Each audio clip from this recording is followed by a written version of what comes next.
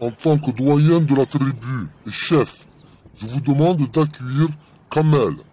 Il nous vient tout droit du Mirail.